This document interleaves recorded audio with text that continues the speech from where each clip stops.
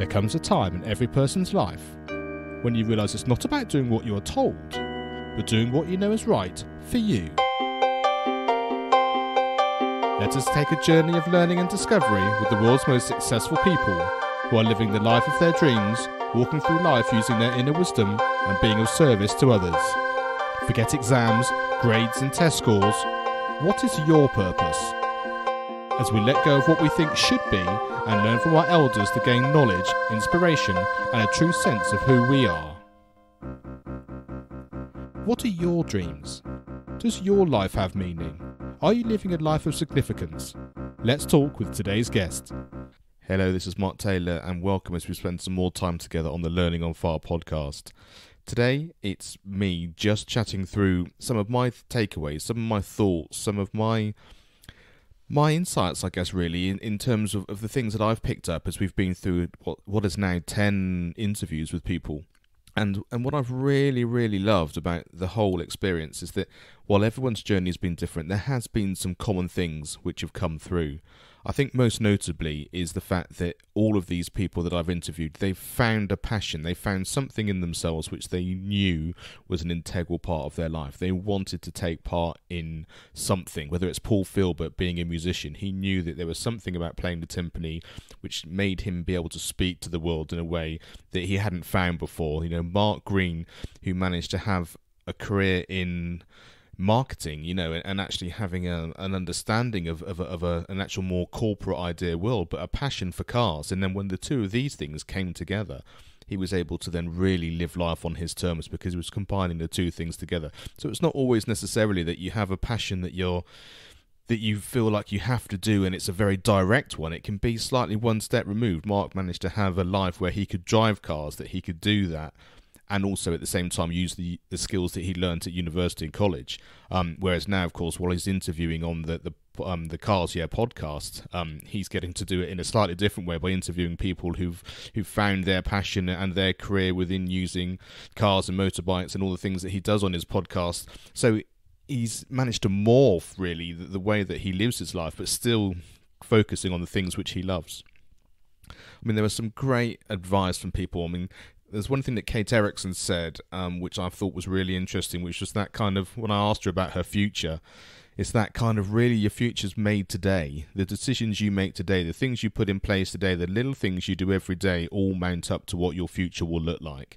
Um, and that's been quite important for me just sort of listening and just thinking about everything that I do every day you know is this actually benefiting me for the future is it benefiting me today and is it putting something in place which I think will really be helpful and help me achieve what I want to achieve, but also give me today what it is that I'd like to happen today. And, and whatever that happens to be, whether it's exercising, whether it's the way you live your lifestyle, whether it's putting time into something that you're passionate about, you know, are you doing it today or are you putting it off for the future? And I think that's a really key question to ask yourself as you as you go through.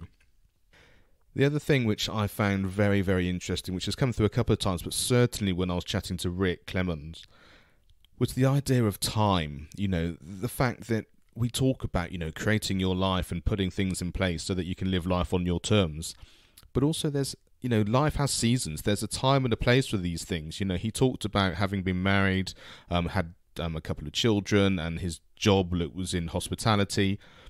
And then, you know, a really big life change, you know, moving across the country, you know, um, separating from his wife and, and the counselling that he talked about. And, you know, I mean, all these things are really, really important. But he sort of felt that, you know, the work he was doing in schools, in the coaching that he's doing now, without having lived that part of his life earlier on, he wouldn't be in a, in a position to do that now.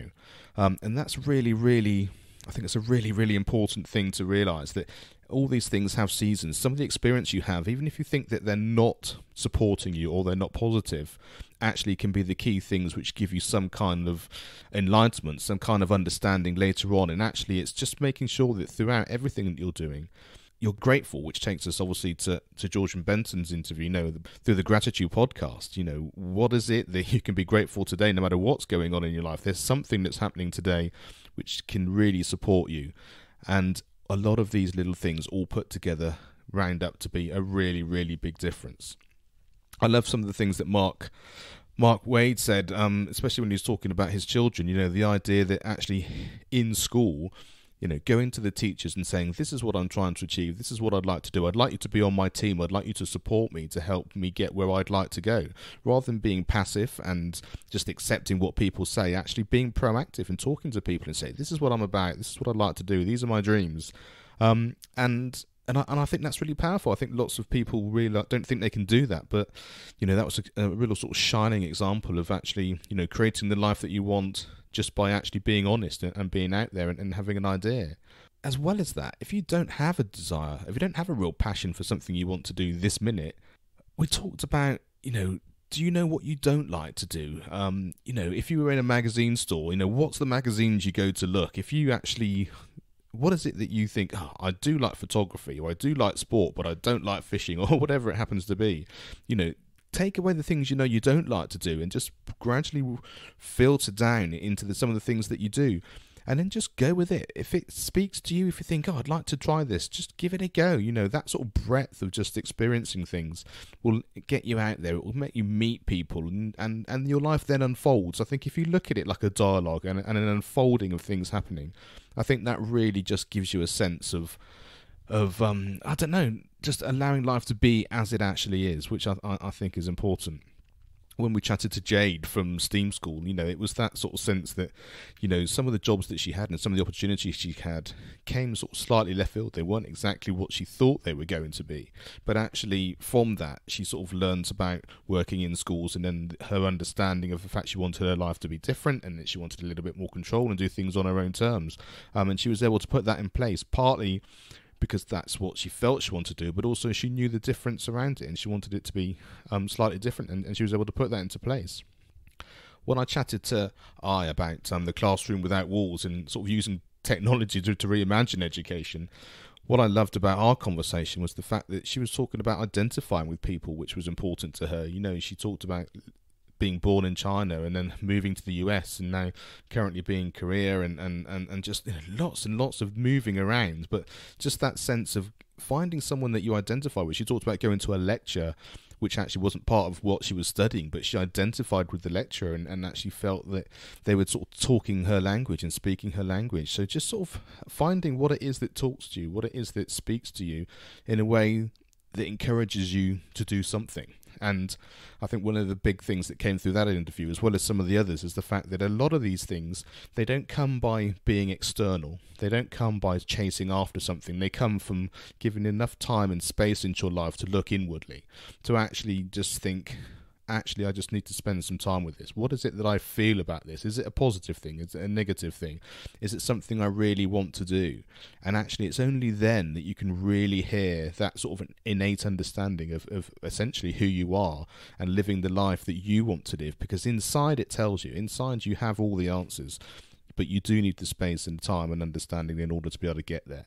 So I do encourage everybody that's um, listening to these things, if you're sort of a little bit, oh, I'm not quite sure where I want to go or what I want to do, actually just take the foot off the gas a little bit. Just spend some time with yourself and just allow everything just to be and out of that space normally things come to you it might be an answer it might be an opportunity that comes slightly left field to you it might just be a kind of actually I've now got the energy to do something like this which I didn't have before because your brain is just not swimming with a million things that you're currently involved in especially if you're still within the school system.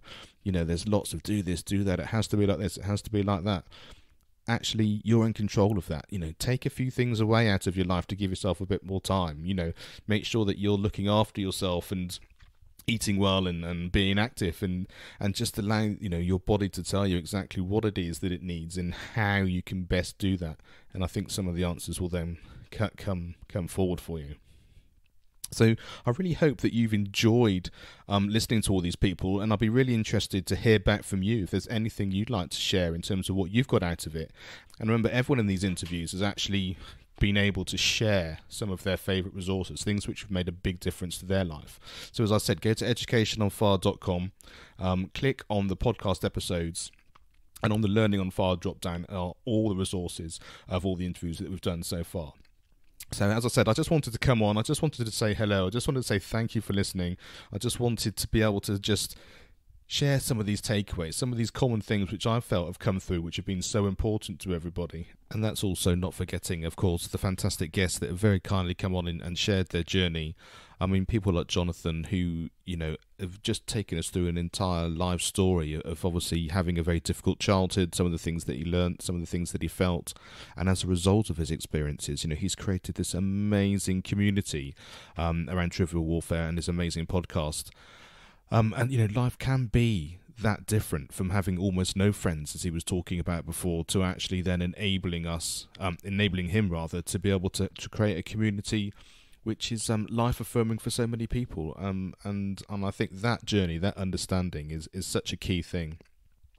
So whether your passion is software, like Hannah, who was talking to us about being a softwarepreneur, um, or whether it's um, entertaining, it's a podcast, whether it's cars, whatever it happens to be, follow that dream, follow that passion. Um, and I look forward to, to sharing with you some amazing guests which are coming up in the next few weeks. Thanks so much for listening, and we will chat again soon. Thanks for listening to the Learning on Fire podcast. For more information, please visit educationonfire.com and follow the links from the homepage. This show is sponsored by the National Association for Primary Education.